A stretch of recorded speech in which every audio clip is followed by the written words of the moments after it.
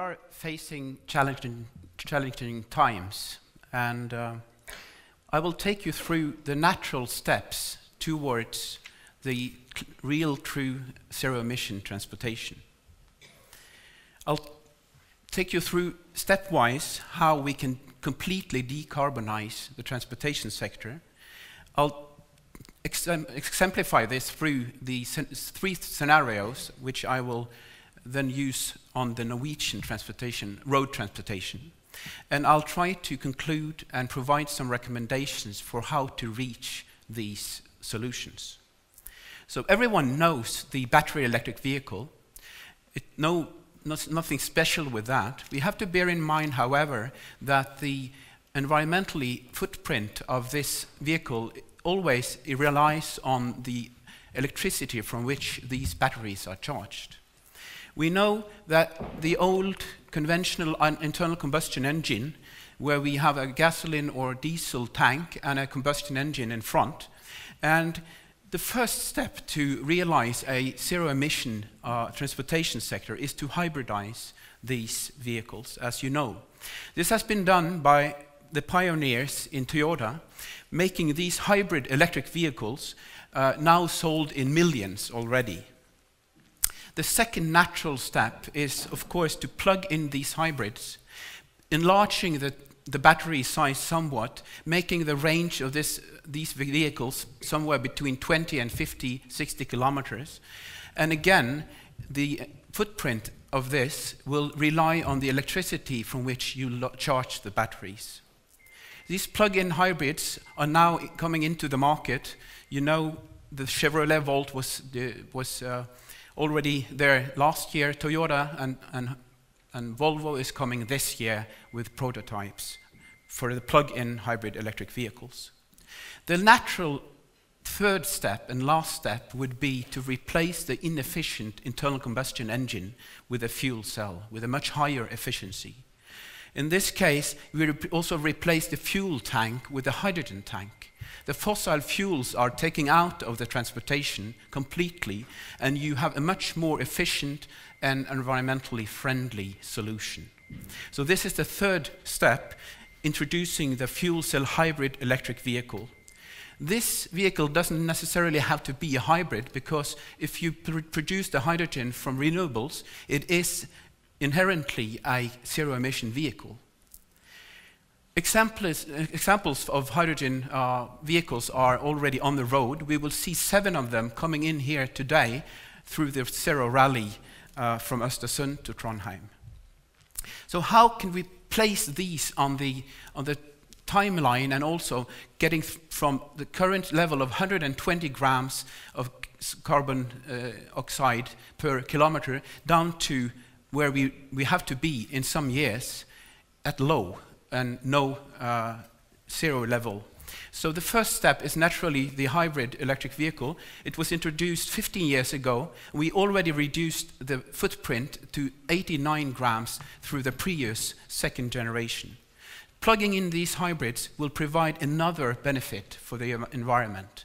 Depending on the size of the battery, you can see that you can get down to roughly 40 to 50 grams per kilometer. These cars are now on their way.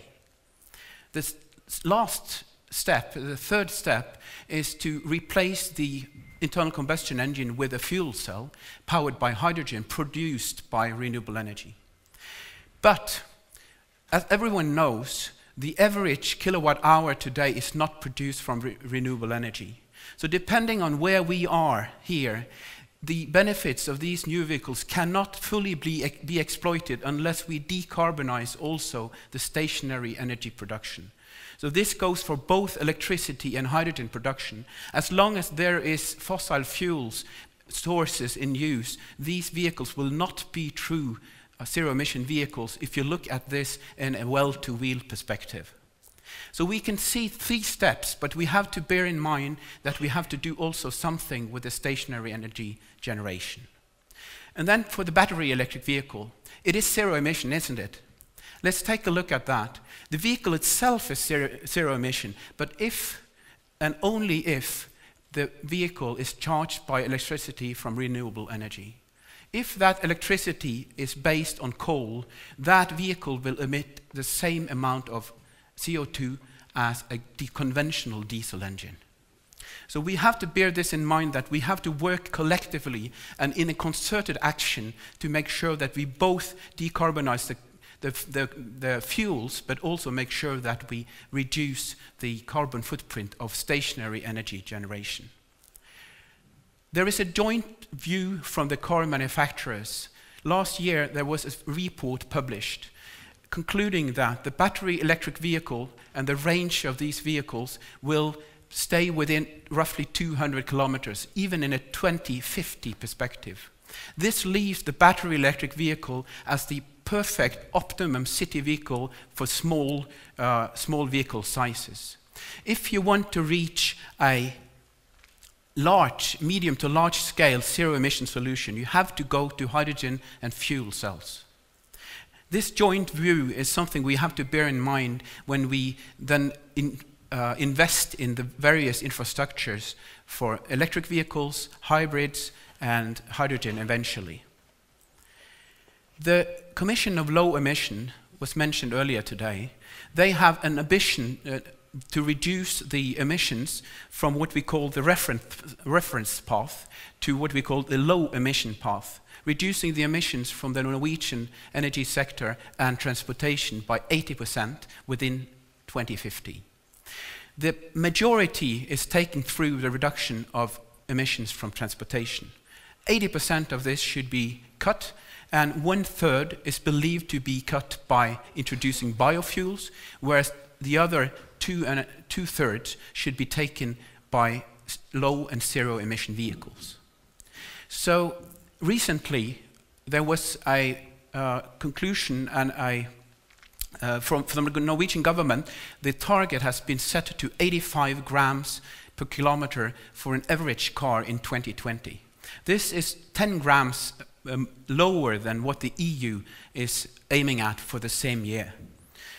Norway has this the strictest and the strongest economic incentives for low and zero emission vehicles in the world, leading to Norway having also the world's highest share of these vehicles. In this case, of course, I have to remind you that low and sorry, zero emission vehicles will constitute both battery as well as hybrid uh, high, uh, hydrogen vehicles. So the fuel cell vehicle is a true zero emission vehicle as long as the hydrogen is, pro is produced from renewable energy. We have uh, more than 80% of the travels in Norway are pretty short. They are shorter than 20 kilometers. And we have a very old car park, meaning that the average car in Norway is more than 10 years old.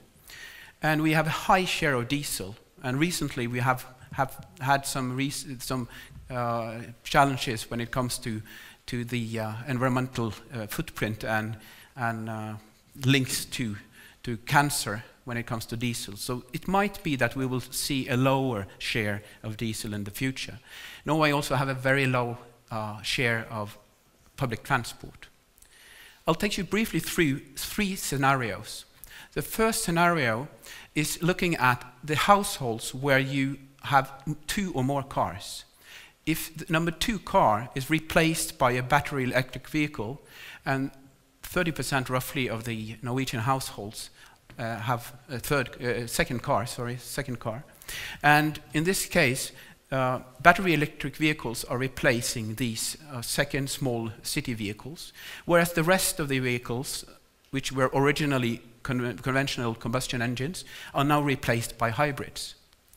Looking at this chart, you can see that although the share of internal combustion engine vehicles is reduced to 60% in 2020, it takes another seven or eight years because before the car pool has a 60% share. We have to bear in mind, especially the politicians, they have to do something now because it, over the lifetime of a, of a vehicle, which is 19.3 years in Norway, this, this, this delay is really pushing the decision makers currently. Looking at scenario two, we see now that the hybrid, uh, which we know from the Prius, uh, is now replaced by a plug-in hybrid, making this hybrid uh, uh possible to, to charge through the grid. In this case, we see that we still have a 30% battery electric vehicle, but you see that the hybrid has an intermittent role, whereas the plug-in hybrid is taking over and has a 70% share of the sales around 2030. The last scenario I'll show you is the introduction of the fuel cell hybrid electric vehicle. You can see that from 2020 we foresee a dramatic increase in the sales of these vehicles and they will take over and completely replace the hybrids. The internal combustion engine is replaced by a more efficient fuel cell powered by hydrogen. And I would like to show you how this, these three scenarios are taking us down the road when it comes to greenhouse gas emissions. On the upper uh, brown curve, you can see business as usual. The scenario one, where you have the second car in every household is a battery electric vehicle, whereas the, the large family car is a hybrid, we will take, that will take us halfway down the emission line. To get more emission reductions, you need the plug-in hybrid, and depending on the size of the battery pack on that plug-in hybrid, you can see that you can benefit and cut some more emissions. So will short range for the pure battery electric uh, propulsion of the plug-in hybrid will give you some uh, reduction. If you have a bigger battery, the reduction will be comparably higher.